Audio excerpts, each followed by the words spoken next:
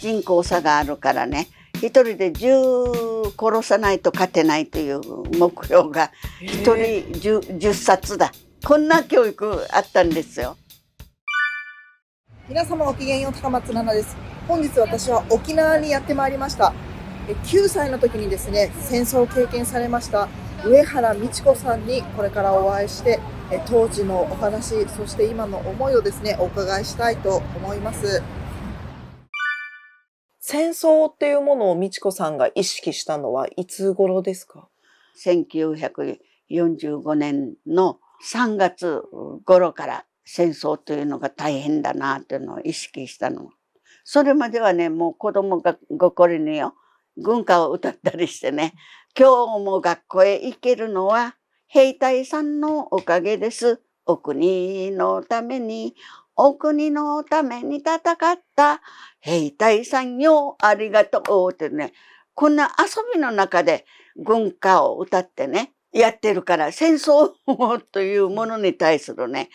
恐れ多いとかね、こんなのはどこからも、先生方もその戦争の悲惨な戦争が来るよというのは、あんまり大きく教えてないわけよね。その学校では天皇というもののために命を捧げるとか、敵を殺すっていうことっていうのは教えられてたんですか？竹槍訓練がね、高等部の女性はね、あの、もんぺ、それから筒袖の空手着みたいなものをつけてね、鉢巻きをしてね、放課後、うちの姉なんか生きよったよ。そして竹槍訓練して。竹槍訓練って何をするんですか？竹槍、つけ、つけ、右へ二歩、つけ、つけ。こういう訓練をするのよ。結局人口差があるからね、一人で10殺さないと勝てないという目標が、一人 10, 10冊だ。こんな教育あったんですよ。子供にもそう教えられてたそうそうそう。えー、お父様が軍に召集された時はもう悲しみでいっぱいだったんですか？どういう感情だったんですか悲しみってなかったよ。だから送り出してね、はい、軍人として頑張っていらっしゃいという激励をする立場だった。お父様と別れる時はどんな会話をされたんですか最後は？もう初めはねお、お父さん行かないでほしいという気持ちがあったんでしょうね。召集されて帰ってきた時、一番真正面にこの軍服をね、下げているのを見て、なんでお父さんがね、この軍服を着て、あそこに行かんといかんのってね、これが軍服がなければ行かないだろうという思いがあったか知らんけど、この軍服を私はね、隠して大騒動した事例があるんですよ。それぐらい本当生かしたくないというのは、あ子供心にね、あったかもしらんけれども、しかしこれ口に出したらもう大変だと思うから。そういうのも分かってたんです、ね、分かっていたんでしょうね。母親に対しても、愚痴も言わないし、父親に対して行くな行くなとも言わないしね。それが最後のお父様との。そうなんですよ。母親の前に姉と私と弟、妹、4名揃えてからね、もう軍服姿でよ、じゃあ行ってらっしゃいということで握手をしてね、あの、別れたんだけど、このマブニの見えるところに小高い山があって、そこをトンネルみたいに越えていく。これからもう向こうはマブニなので、こう境界線そこまでね、バイバイしてね、お父さんバイバイって大声で叫んで別れた。それっきりですよ。戦後、もう父親のいない家庭の辛さ、もう話したくないというふうなぐらい自分は、あの、意気消沈していたんですよ。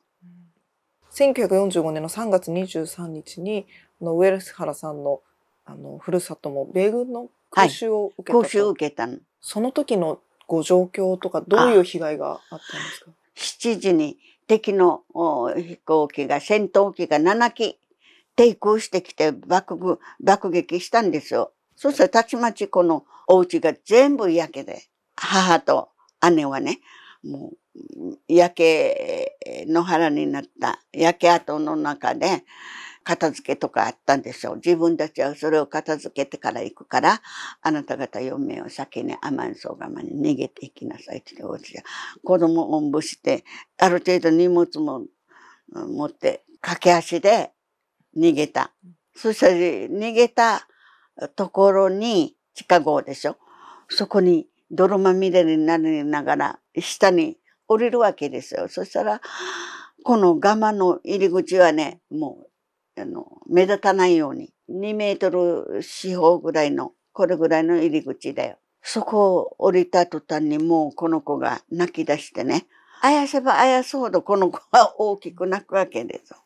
で、しばらく泣いていたら、先に行った住民、この、この間までも戦争がなければとっても優しいお姉さん、おばあさんたちだったけど、方言でね、まあの小屋が、泣け三景というこの言葉がね、私はもうずっと脳裏に残ってる。どこの子ね、泣かすなって。泣け三景。子供たち4人に対する声かけというのがね、誰も優しい言葉も、自分はまた水持っていてもね、誰一人としてね、えー、水飲みなさいとかね、助け舟は全然出す、出さないわけ。そしてしばらくしてからね、もうあんた方はね、出て行き、行った方がいいよって。あんた方が泣いたらね、もう敵に見つかるからという理由が分かったのは後からよ。戦争負けて後から。同じ親族の同じ住民がこういう言葉をかけていたの。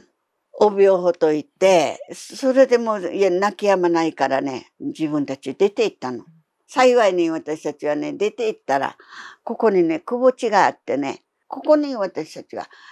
7時から夕方の5時まで隠れていたの。母と姉はね、1時間か2時間後に出ようとしたら、またさっきの戦闘機に見つかって爆撃を休止に一生を得て、なんとかたどり着いたんだけど、私たちのところに。これが5時半。母と姉はもう、髪も振り乱して、洋服ももうぐしゃぐしゃになってからさ、おまけに母親はね、左の手、手のこっち大怪我をしてる。サトウキビ畑が、あの、借り出されてね、先の方尖っているのわからんで、ここにぐさっとね、えー、怪我をして、もう血だらだら。おまけに子供たちに泣き疲れている。この場面がね、私にはもう絶対忘れることのできない。話したくもない、この場面は。だからしばらくはね、人間不信に、戦後ですよ。捕虜になってからも自分たちは生きてこうやったんだけど、あの状況況になって、戦争っていうのは本当にに人間を殺すだけじゃなくてね、財産も全部奪われ奪われて、しかの人間の心まで奪ってしまうんだな。こんな戦争二度とやってほしくないというのに、この3月の23日でもう戦争の悲惨さというのを実感しているわけだが、幸いに私たちはよ、翌々日だ。平和の礎のある海側ね。ここからも艦砲射撃があるから、今日中に逃げないとここに残ってるのあなた方全滅だよって言って、夜から電気もない、道もわからないのに、4日間歩いて歩いて、あの、名護の手前の女村、アウソ仲間というところに、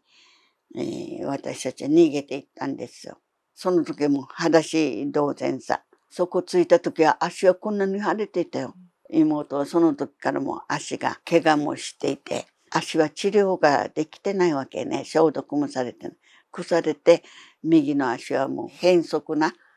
足になってるんです。それが原因で、結局高校にも行けなかった戦後は。あの、ご家族で避難されはい。ってこと全員無事に避難できたんですかそうそう。でも赤ちゃんが、末っ子の赤ちゃんがそこで亡くなったの。栄養失調で、それからもうずっと姉が面倒を見ていたの、山の中でも。母親はうつ状態だからね。避難場所で米軍の捕虜になり、収容所に入ったと伺ったんですけども、米軍の捕虜にはどういう経緯でなったんですか？5月27日頃かな、5名のね、あの、アメリカさんたちが、そこに私たちが隠れている、掘ったて小屋だったんだけど、そこに来たんですよ。若いお母さんたち、うちの姉なんかも、それから母も、まだ若かったから、作ってある防空壕に避難してるわけ。残ってんのこの掘ったて小屋に子供たちだけだよ。そして、へい、出てこい、出てこいって、多分ね、先に捕虜になった人かわからんけど、一人ぐらいはね、日本語話せる人がついているんですよ。キャンディーこっちから出して吐いてて、あの、みんなね、あげあげるわけね。子供たちだけだからみんな、もう本当に取りやっこして、ポケットの一杯ももらってたら、誰かが、ここれどこが入ってる？よ。あんた方これ食べたら大変だよ。と言って言うから、持ってたのをみんな投げ出したから、アメリカさんたちがね、食べてから、これ何でもない美味しい食べてって自分たちで食べてみせるから、また取りやっこしてね、そういう場面もあったん、覚えている。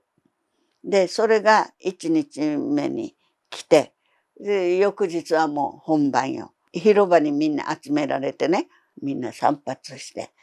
で、DDT という粉な消毒剤。これで全部全身消毒された。収容所ではどんな生活をされてたんですか？収容所ではね、アメリカさんが作った、あの、テント小屋。今のように床も綺麗にないよ。なんか自分たちで工夫しながらあ座る場所、寝る場所はそこには3、4所帯ぐらいみんな一緒に生活していた。よくぞね、これが光ですよね。写真にこんなにして現れてるから、すごいなと思ってるよ。これ、車線全部銃撃、銃の跡ってことですよね。そうですよ。この中に逃げ回られてたんですかそうそうそう。この号から出てこい出てこいして出てきて、奥の方に映っているはずだけどね。あ、そうなんですね。美智子さん。うん、自身も。美智子さんがこれ見た場面なんですか、じゃあ。うん、どっかに映ってらっしゃるってことなんですね。ヒメリ島の向こう側に、えー、コンパクの島というのがあってね、コンパクの島の周辺がコメスというところなんですがね、そこに那覇の住民が収容されて、畑をしようとして、ここが自分たちの畑、ここが自分たちの畑って言って囲いがあるでしょ。その囲いの、あの、方に頭蓋骨やね、この大腿骨が置かれていたって。そしたら、那覇の、あの、当時の市長、金城さんという方が、コンパクの塔のちょっとした自然号があって、それを見つけて、これを拡大して、畑のあぜ道にある骨を全部ここに集めてやったのが、コンパクの塔。収容所で終戦をしたっていうことですか？はい。玉音放送？それも放送も聞いたことなかったよ。ああ、戦争がいつ終わったのかあまり分かってなかったんです。そうだったんですね。収容所の生活を1年以上されたと、ふるさとに戻られたって感じなんですかね。そう。そこでは、なんかどういうふうに復興っていうか生活を再建されていったんですか？勉強は二の次。勉強するより家族が食べるもの、水を確保するとか、洗濯をするとか、ご飯に、えー、使えそうな野菜を探すとか、そういう生活だからね、もうハングリーだよ。じゃあ戦後困ったこととしてやっぱり食料が足りない食料足りない。軍のあの捨て場、今、あのトラック行きよったよって誰かが聞いて、みんな走っていくわけさ。そのまま缶詰缶に残ったものを捨てるから、これもまた自分たちにね、探して、それからあの、飛行機に落下傘っていうのがあるでしょ。それをチリ捨て場から探してく大きな戦火だった。みんな集まるところ、今の公民館の前、村屋って。そこにね、この落下傘を持ってきて、ハサミ入れて、こうやって、こうやってっていう人が出てくるのよ。で、この人たちが赤ちゃんの帽子を作って、赤ちゃんのベビー服作ったりってね。あれが一番の、あれでしたね。戦火。学校が再開されたのはいつ頃だったんですか？6年に上がる頃に、ナシロビーチの近くに大きなコンセットの教室があって、机腰掛けがあるんでもないんだよ。露天 教室だよ。崩れたレンガがあって少し座れるもこれ自分で探して椅子代わりを。紙もないでしょ？紙はどうしたかって言ったらメリケン袋のね紙製があったの今でいうこの段ボール箱みたいな袋があるわけよね。それを自分たちであのセットしてこれで書いてノート代わりにしていた。なぜ語り部の活動をされようと思ったんですか？あ、あの教員になってからですよ。先輩の女学、えー、女学校を卒業した方々が語り部やってますよね。で、この人たちは将来先生になるんだと思いで女学校行ったんだけど、野戦病院に配置されて大変なあの苦労していて、女学校の人たちの悲惨な戦争、その話を聞いてやっているうちにね、ああ、これはな、自分の目指すのは、あの、この人たちと一緒になんかやれるのを考えていた時に、幸いに、まあ、流大体育館に入ったから、それから、あれ、昭和31年ぐらいからだからね、あの、先生やったのが。語り部になろうと思ったのは、やっぱ次世代の子たちにそう女学生の思いを知って思いを知ってこの人たちの話を聞いて後継者作りってあの人たちはもうまた早く後輩を作らんといかんという動きだったと思うんで。じゃあ姫売りの体験をお話しされるような先輩方を見られてそうじゃあその方々が後継者作りされててじゃあ自分もやらなきゃっていう思いに駆られたっていう。というのと教員しながらのこの婦人会活動をやってたの、その頃。そういうことで私が目を向けたのは、各地域ごとに骨拾いとかこういうのあるよね。それに関わっていれば、自分の身内の一番愛した父親のご遺骨も見つかるかもしらんということで、ガマの案内を始めた。終戦から79年ですけども、今の日本や国際情勢を見てどういうふうに思われますか？もう特に最近はねロシアとウクライナねあれもう最初見見れなかった。似てるんですよ。ちょうど沖縄とアメリカの戦争の前触れが似てるんです。八重山が主張も動きが変わってるよね、軍人をたくさん自分のところに呼ぶことができればこのこの地域は安泰だというふうな動きに今の若い人たちが動かされているような雰囲気が見られるのでね前触れのような感じがして非常に怖い。最後にお伺いしたいんですけども若い世代の人に向けてメッセージをお願いします。安心し、のほんとした生活を続けていると、これ以上上を目指して頑張らなくちゃというね、こういうものに薄くなっているような気がするんで、企業界でもそうですけど、若い世代の人たちがね、今の現状でいいじゃないかというふうな規約が伺えるもんだからね、非常に心配である。だから若者たちはもっともっと自分の技能の伸ばしで苦労もしながら、そして社会をみんなで守っていくんだというこうこういう精神がないとねもっと平和を作るために努力をしなきゃいけない努力しなさい。そうそう。これでは悠々世々に至るまで平安な時代を送れるということはちょっと難しいんじゃないかなと思いますね。この番組は皆様のサポートによって支えられています。交通費、ファクトチェック、リサーチなどにお金がかかっています。スーパーサンクスやマンスリーサポートでご支援をお願いします。企業の SDGs、自治体の取り組みなどの PR 案件をお待ちしております。詳細は概要欄まで。チャンネル登録、高評価お願いします。それではまたごきげんよう。